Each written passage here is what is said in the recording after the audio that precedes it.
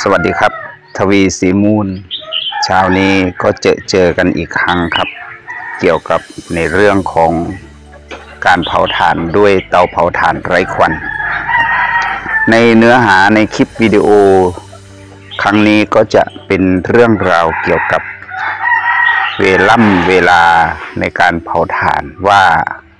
เวลาไหนที่จะสมควรเผาและเหมาะที่สุดสำหรับ เวลานี้จะเป็นประสบการณ์ของผมเอง แล้วก็เป็นเรื่องส่วนตัวนะว่าใครจะเผาตอนไหนก็ได้ หรือว่าเวลานั้นจะแยกออกไปหลายอย่าง ด้วยความเหมาะสมของสถานการณ์ของแต่ละคนว่าเราเหมาะที่จะเผากันเวลาไหนบ้าง ในส่วนตัวของผมนั้น เลือกเวลาเช้าอย่างเช่นของวันนี้นะเหตุผลที่เลือกเวลาเช้าก็เพราะว่าเวลาเช้านั้น การเตรียมการการอะไรนั้นก็จะไม่ร้อนเท่าไหร่ แล้วอีกอย่างภารกิจ หรือว่าพื้นที่ของแต่ละคนนั้นจะไม่เหมือนกันของผมนี้จะอยู่ในส่วนของเขตเมือง ก็จะเน้นตอนเช้าเพราะว่าอะไร เพราะว่าเราจะได้เผาให้เสร็จเร็ว แล้วก็งานการก็จะได้หน้าที่อย่างอื่นเราก็จะได้ทำต่อมาครับ ภารกิจตอนเช้าก็คือรีบรับประทานอาหารกินข้าวกินปลาเสร็จเรียบร้อยนะต่อไปก็จะมาเก็บไม้ฟืนแล้วก็จะนำไปเผาเลย ในส่วนของ FC หรือว่าท่านผู้ชมก็คอมเมนต์มานะว่า ชอบเผากันเวลาไหน แล้วก็ให้เหตุผลมาด้วยว่า เวลานั้นเวลานี้เราก็จะได้พูดคุยกัน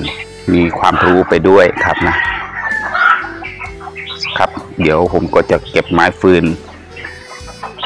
สำหรับในเนื้อหาอีกเรื่องก็คือจะทำการเผาถ่านแล้วก็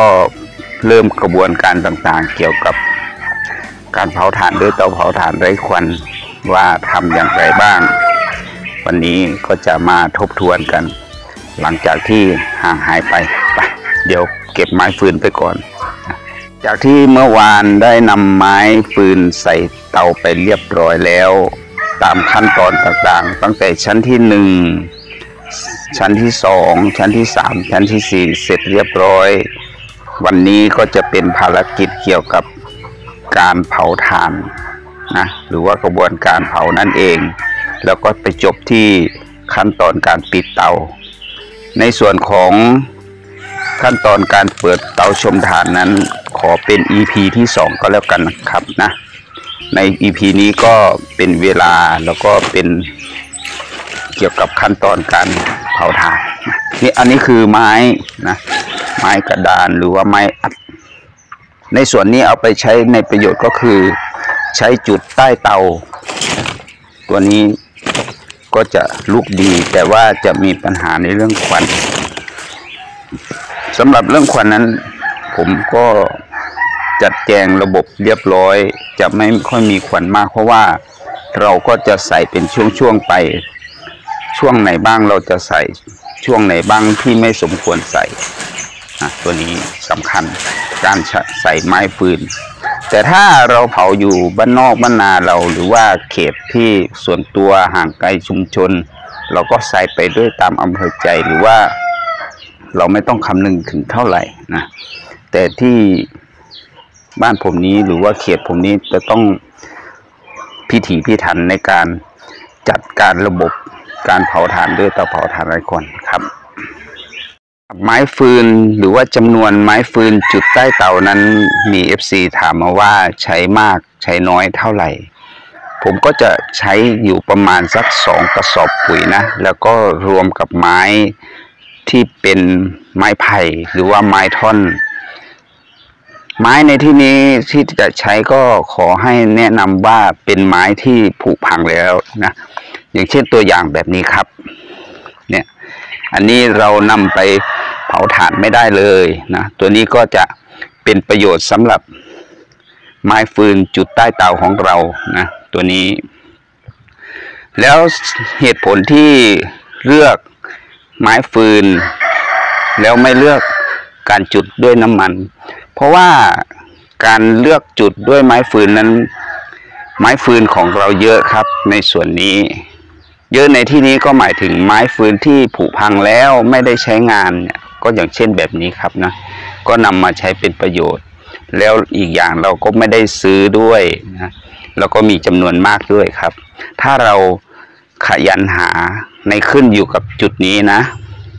ครับ ถ้าเราขยันหาขยันเสาะแสวงหาในที่ต่างๆ หรือว่ามีเครือข่ายของเราเยอะๆ ไม้ฟืนในส่วนนี้ก็จะ มีมาเรื่อยๆครับในส่วนนี้ตัวนี้ก็ขอฝากไว้อีกเรื่องหนึ่งครับ ต่อไปเดี๋ยวผมก็จะขนไม้ฟืน พวกนี้ไปเผาด้วยนะ หรือว่าไปจุดใต้เตาด้วยครับ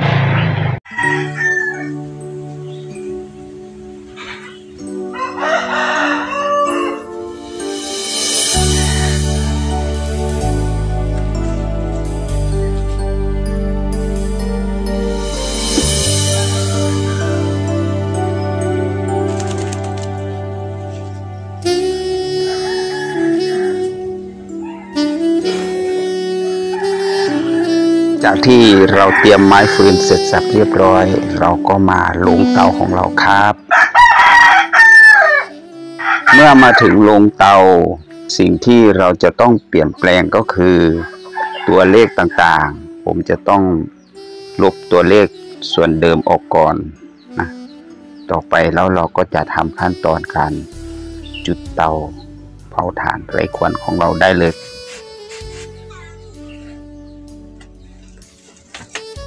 เสร็จเรียบร้อย เดี๋ยวก็จะมาชี้แจงสถิติเสียก่อนก้นเตาของเราเผาไปแล้ว 38 ครั้ง เตา F5E ก็ 3 ครั้ง ท่อแกนกลางหรือว่าท่อแก๊สของเราก็ 13 ครั้งนะสถิตินี้มีดีก็เพราะว่าเราจะทราบว่างานหรือว่าโลหะสิ่งต่างๆ อะไรต่างๆ ที่เราทำขึ้นมา ของเรานั้นจะใช้งานได้ทนทานขนาดไหนสำหรับ FC หรือว่าท่านผู้ชมก็คอมเมนต์มาได้ครับว่าว่าของท่านใช้อะไรบ้าง แล้วก็มีสถิติการเผาเท่าไหร่ อายุการใช้งานเท่าไหร่ก็จะได้มีความรู้ ท่านผู้ชมเข้ามาชมหรือว่าเข้ามาอ่าน ก็จะได้รับความรู้อันนี้ไปด้วย ในส่วนนี้ก็ขอให้คอมเมนต์มาด้วยนะครับ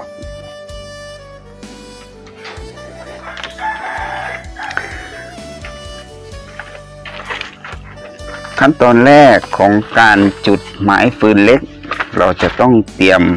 เศษไม้ฟืน ในที่นี้ผมใช้ไม้อัดนะ ฉีกก็เป็นแผ่นเล็กๆ หรือว่าเป็นชิ้นเล็กๆ แบบนี้ แล้วก็จัดเรียงกันขึ้น การจัดเรียงนั้น เราจะต้องจัดเรียงให้เป็นระบบครับ วางไว้ที่ปากเตาก็ได้ครับ ส่วนนี้ วางเป็นชั้นๆขึ้นครับ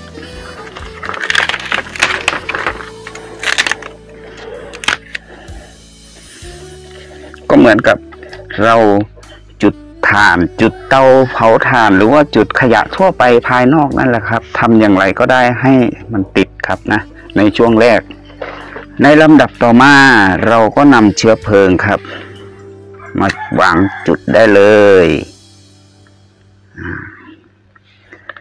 วางไปที่ไม้ฟืนเล็กของเรา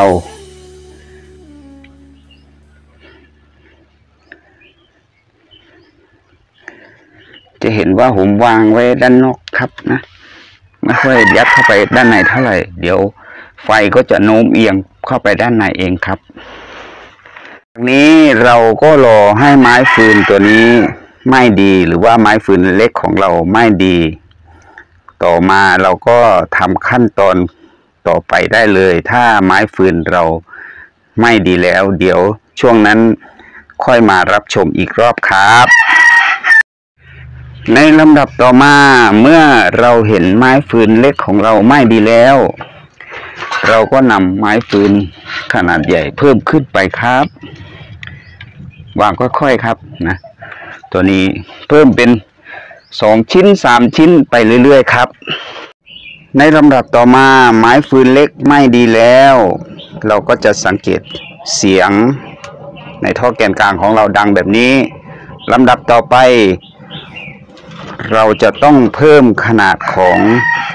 ไม้ฟืนใหญ่ครับ ก็คือตัวที่เรานำมานั่นเอง ก็คือตัวนี้ครับ เราก็ไม่ต้องเข้าไปลึกทีนะครับ วางไว้ด้านนอกๆก่อน ในส่วนนี้เพราะว่าอะไร เพราะว่าการเผาไหม้ก็ยังไม่ดีเท่าที่ควรนะเราต้องให้ความร้อนกับไม้ฟืนใหญ่เสียก่อนครับ อันนี้คือลำดับขั้นตอน ต่อมาครับ ผมจะให้เห็นถึงปฏิกิริยาเมื่อเรานำไม้ใหญ่ใส่เข้าไปแล้ว ในท่อแกนกลางของเราก็จะมีเปลวไฟลุกขึ้นแบบนี้ครับ แล้วหลังจากนั้นเราก็นำไม้เล็กเสริมเข้าไปเรื่อยๆนะ ใส่เข้าไป เอาจนกว่าให้เปลวไฟที่ในท่อแกนกลางของเรานี้รุนแรงมากขึ้น แล้วขั้นตอนการปฏิบัติต่อไปก็คือ เราทำอย่างนี้ประมาณสักชั่วโมงครึ่ง ถึงสองชั่วโมง ก็จะเกิดแรงดัน เมื่อเกิดแรงดันออกมาแล้ว การเผาไหม้ในท่อแกนกลางก็จะดียิ่งขึ้น ในส่วนนี้ก็คือ ผมจะเรียกว่าการเผาไหม้ควันบ้านนั่นเอง เดี๋ยวขั้นตอนต่อไปเดี๋ยวค่อยเจอกันครับ ครับเจอกันอีกครั้งครับ ช่วงนี้จะมาอัปเดตในเรื่องของการเผาแรงดันครับ หลังจากที่ผมเผาไปแล้วประมาณชั่วโมงครึ่งครับ จับเวลาได้นะ ก็จะให้สังเกตได้ดังนี้ครับ เนี่ยเห็นไหม จะมีแรงดันครับ แผ่วๆออกมาแล้ว ถ้าแรงดันออกมาแบบนี้นะการทำงานของเราก็จะง่ายขึ้น หรือว่าไม่เหน็ดเหนื่อยเหมือนช่วงแรก เราไม่ต้องโหมไฟให้รุนแรง เพียงแต่ควบคุมฟืนตัวนี้ครับนะควบคุมฟืนด้านล่างเนี่ย ให้สม่ำเสมอนะเนี่ยแบบเนี้ยถ้าไฟอ่อนลงเราก็ดันเข้าไปเพิ่มขึ้น ความแรงของไฟก็จะรุนแรงแบบนี้นะเนี่ยเห็นไหม อันนี้คือประโยชน์ของควันหรือว่าที่ผมเรียกบ่อยๆ ก็คือควันบ้านั่นเอง ควันตัวนี้จะออกมาในช่วงที่เราเผา ช่วงแรกๆ เผาไปนานๆ ได้ประมาณสักเกือบสองชั่วโมงแบบที่ผมเคยได้เกริ่นมาไว้แล้วนะช่วงนี้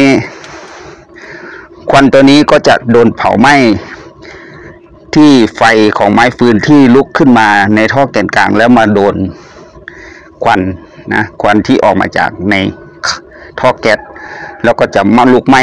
เราก็จะได้เปลวไฟที่รุนแรงขึ้นเพิ่มขึ้น ช่วงนี้เราใช้ฟืนเพียง 50%นะไม่ต้องเร่งมาก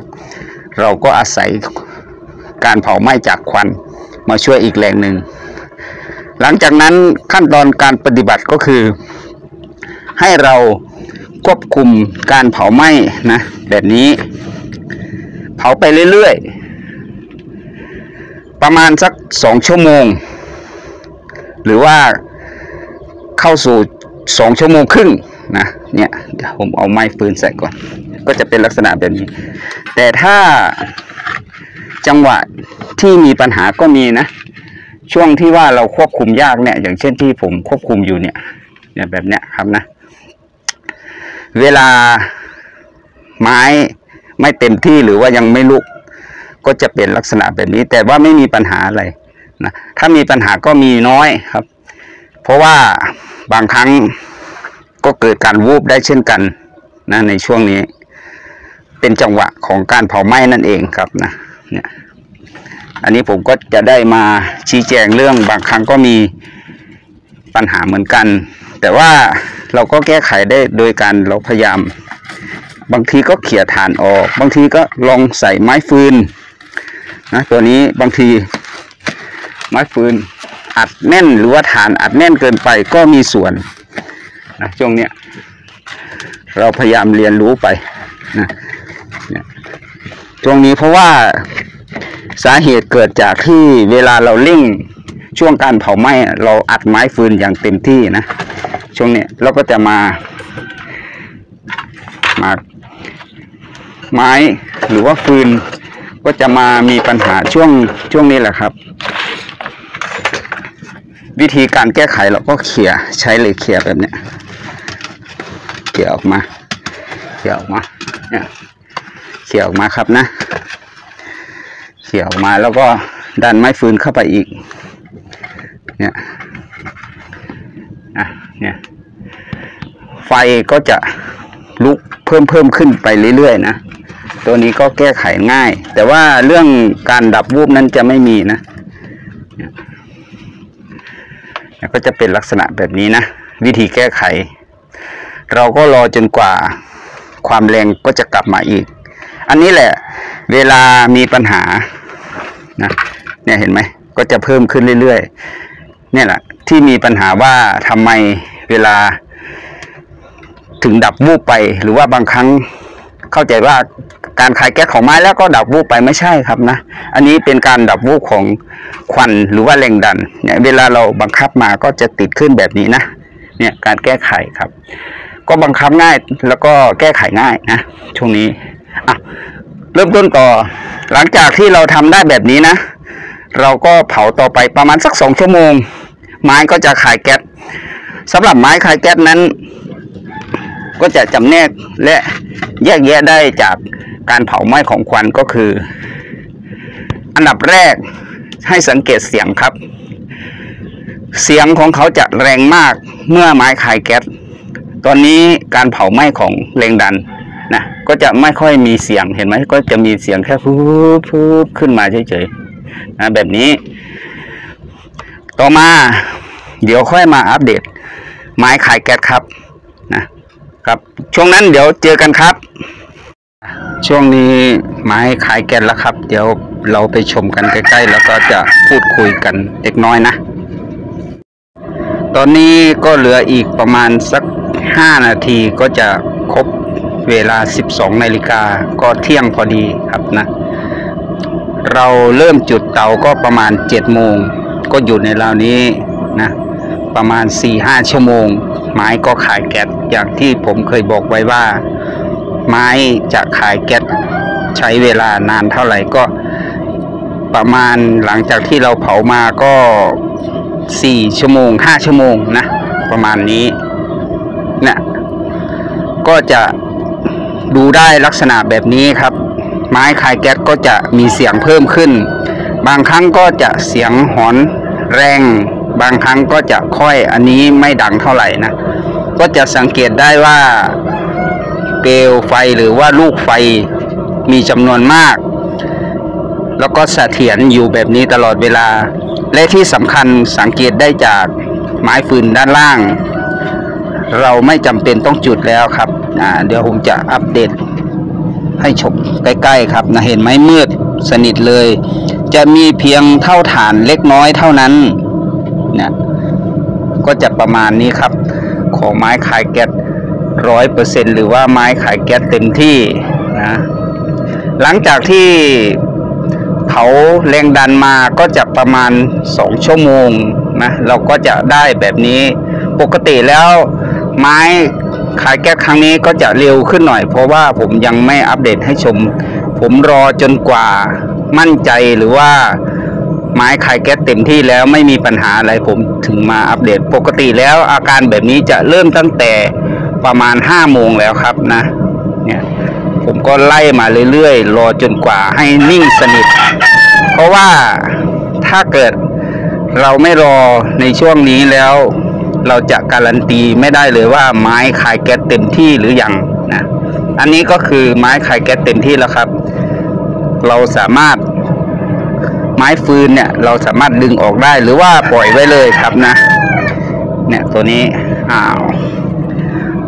ในลำดับการอัปเดตต่อไปก็คือ ระยะเวลาที่ไม้คายแก๊สเนี่ย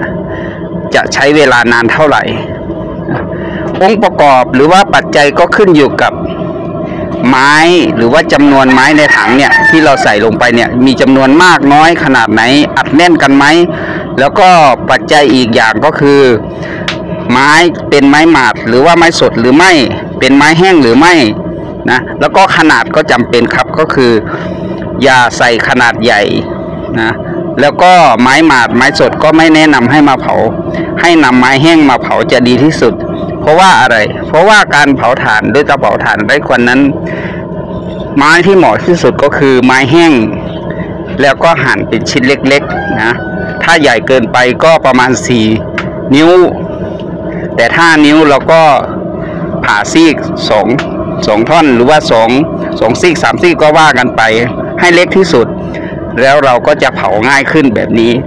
แต่ถ้าเราไม่ทำการผ่าหรือว่าใส่ไป ใหญ่ๆนะ แต่ก็การเผาก็เผาได้ครับ แต่ว่าลำบากนะลำบากในเรื่องของไม้คายแก๊สก็ใช้เวลานานนะก็แล้วก็จะส่งผลเสียให้กับเตาของเรา เตาของเราในที่นี้ก็หมายถึงว่าอะไรต่างๆครับ เมื่อทำงานหนักใช้เวลานานปกติแล้ว ไม้คายแก๊สจะกินเวลาอยู่ 3 ชั่วโมง ก็บวกเพิ่มไปอีก 4-5 ชั่วโมง กว่าจะเสร็จก็มืดค่ำอันนี้คือส่งผลเสียหลาย ๆ ด้าน ทั้งเหนื่อย แล้วก็เสียเวลาเวลานะสำหรับจำนวนปริมาณฐานนั้นก็ใกล้เคียงกันนะ ผมจึงขอแนะนำว่าให้ทำตามขั้นตอนกระบวนการที่เคยทำกันมานะครับ การอัปเดตต่อไปก็เป็นช่วงการไล่แก๊สต่อไปนะ เดี๋ยวรอจนกว่าเวลานั้นมาถึงเดี๋ยวค่อยมาอัปเดตอีกรอบครับครับ ก็ได้เวลาการไล่แก๊สแล้วนะเดี๋ยวเราไปชม เดี๋ยวเราไปชมกันใกล้ ๆครับ เมื่อไม้คายแก๊สกินเวลาประมาณ 3 ชั่วโมง การอ่อนตัวของแก๊สก็จะเป็นลักษณะแบบนี้ครับนะนะผมจะเอา ที่ครอบออกให้ชัดเจนกว่านี้ครับ เลยครับอ้าวครับนะเนี่ยช่วงนี้ก็ยังแรงอยู่นะ แต่ว่าผมก็จะทำการไล่เลย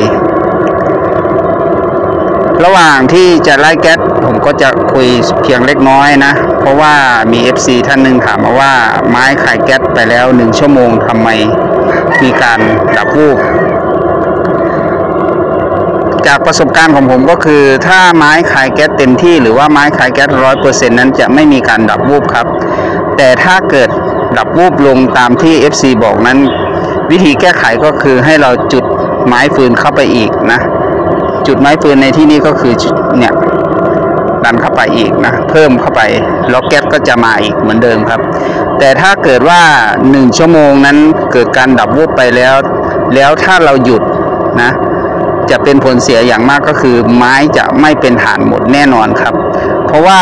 จากประสบการณ์ที่ผมเคยบอกมาแล้วว่า ไม้คายแก๊สอย่างน้อยก็ต้องกินเวลาประมาณ 2-3 ชั่วโมงเป็นอย่างต่ำนะ อันนี้ขอฝากไว้ด้วยครับสำหรับเรื่องนี้ ต่อไปเป็นการไล่แก๊สขั้นตอนการไล่แก๊สก็คือ เรานำไม้ใส่เข้าไปในท่อแกนกลางเลยครับนะ ใส่เข้าไปแบบนี้ครับ แก๊สที่พุ่งออกมา ก็จะลุกไหม้ไม้ที่เราใส่ลงไปทันที แล้วทำแบบนี้เพื่ออะไร แล้วถ้าไม่ทำจะเกิดปัญหาอย่างไรทำแบบนี้เพื่อว่าระยะสุดท้ายของการไหม้ของไม้หรือว่าการคายแก๊สของไม้นั้น เมื่อไม้ใกล้จะหมดแล้วเหลือเพียงนิดหน่อย ก็จะอ่อนตัวลงแบบนี้ วิธีที่เราจะให้ไม้ไม้เป็นฐานให้หมด เราก็จะต้องทำการกระตุ้นแก๊สหรือว่าไล่แก๊สนั่นเอง โดยการที่นำไม้ใส่เข้าไปแบบที่ผมใส่ไปเมื่อกี้นี้หนึ่งอันนะครับ แล้วถามว่าเราจะหยุดเมื่อไหร่ เราจะหยุด ในเมื่อกรณีที่ว่าเสียงครับเห็นไหมเนี่ยเสียงก็ยังดังอยู่ เราไล่ไปจนกว่าเสียงหมดเลยนะให้จำเสียงดีๆ ถ้าเสียงยังดังอยู่แบบนี้เราก็ไล่ไปเรื่อยๆ อันนี้คือการไล่แก๊สครับ ปกติแล้วจะใช้เวลาอยู่ประมาณหนึ่งชั่วโมง ถึงไล่จะหมดนะ ก็ขอให้ปฏิบัติตามนี้ด้วยนะ อันนี้แหละครับ แล้ววิธีการไล่แก๊ส แบบที่สองก็คือเราใช้ไม้ฟืนใส่เข้าไปที่เต่า F5E ของเราก็ได้ ตัวนี้ก็จะไม่ต้องไล่ข้างบนบ่อยนักทำได้สองวิธีครับนะอันนี้ก็ฝากไว้ครับต่อไปเดี๋ยวผมก็จะไล่ไปเรื่อยๆ จนกว่าไม่มีเสียง แล้วเราค่อยมาพบกันช่วง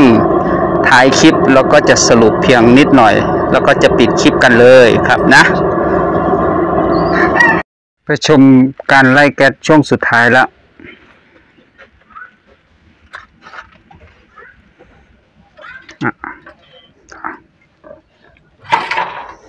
การไล่แก๊สช่วงสุดท้ายก็ดำเนินมาถึงเสร็จสิ้นแล้วครับ เนี่ยก็จะเป็นลักษณะแบบนี้ ก็จะไม่มีเปลวแก๊สขึ้นมาอีกเลย แล้วก็เสียงก็จะเงียบแบบนี้นะ ถึงมีก็จะมีแป๊กแป๊กแป๊กแป๊กนิดเดียว ก็ไม่เป็นไรปล่อยเลยนะ แต่ว่าอย่าให้เสียงดัง แต่ถ้าเสียงดังนี่เราต้องไล่ต่อครับ อันนี้ก็คือการไล่แก๊สช่วงสุดท้ายแล้วก็จะได้ปิดเตาสำหรับการปิดเตาของผมนั้นก็ไม่มีอะไรมาก เพียงแต่ดูแลเนี่ยไม้ฟืนออกให้ดี แล้วก็นำน้ำมาลด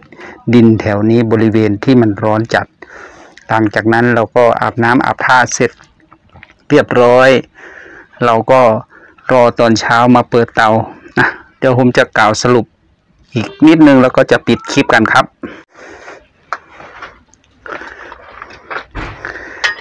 ครับก่อนจะปิดคลิปกัน ผมก็จะขอกล่าวสรุปตั้งแต่ตอนต้นมาว่ามีเรื่องอะไรบ้าง อย่างเช่นก็เวลาไหนเวลาที่เราจะต้องเผาถ่านดีที่สุด ผมก็เลือกเวลาเช้านะ เพราะว่าเวลาเช้านั้น อากาศเย็นแล้วก็ทำแล้วก็เสร็จเร็วเลย แต่ถ้าท่านผู้ชมเลือกเวลาไหนก็ขอให้คอมเมนต์มานะว่า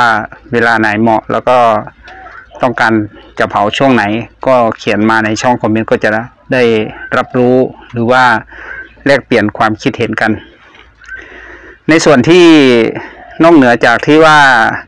ใช้เวลานอกเหนือจากนี้ก็เป็นเวลาข้ามบ้าง เวลา เลยเที่ยงมาบ้างก็แล้วแต่ขึ้นอยู่กับจังหวะของแต่ละบุคคล แล้วก็สถานที่สำหรับสถานที่ของผมนั้น เป็นเขตเมืองเราก็ต้องเผาตอนเช้าให้เสร็จสิ้น เพราะว่าตอนเย็นมา บางทีเราเผาไปแล้วก็หมอกควันก็อาจจะต่ำลง แล้วก็มืดค่ำนะคนพลุกพล่านเยอะ เนี่ยก็เสร็จแล้วครับ ก่อนบ่ายสามบ่ายสี่ก็เสร็จเรียบร้อยแล้ว ก็จะปิดเตา ต่อมาก็ กระบวนการเผาก็ไม่มีอะไรมากตามสเต็ปทำงานไปเรื่อยๆ อันนี้แหละก็คือระบบการเผาถ่านด้วยเตาเผาถ่านไร้ควัน แล้วก็จะขอพูดอีกนิดก็คือช่วงไล่แก๊สนะ ถ้าเราไม่ไล่ไม้ก็จะเหลือก้นเตาแน่นอนนะ ไล่ให้หมด เวลาไล่หมดไล่อย่างไรก็ให้ฝังเสียง ไล่เอาจนเสียงให้หมดนะเสียงไม่มีก็จะเงียบแบบนี้ครับ แล้วก็ การปิดเตาก็ไม่มีอะไรมากดูแล ไม้ฝูงไม้ฟืน ให้เรียบร้อย แล้วก็หมั่นมาดูอีกรอบสองรอบ แล้วก็เสร็จแล้ว ตอนเช้ามาก็ค่อยมาเปิดเตาชมทานกัน ครับสำหรับคลิปนี้ท่านผู้ชมชมแล้ว มีความคิดเห็นอย่างไรหรือว่า จะชี้แนะติชมเขียนมาเอาไว้ในช่องคอมเมนต์พูดคุยกันได้นะให้ประโยชน์มา สำหรับคลิปนี้ช่วยกันกดไลค์กดแชร์กด subscribe ผมด้วยเพื่อเป็นกำลังใจ ท้ายคลิปนี้ขอกลับสวัสดีไปก่อน สวัสดีครับ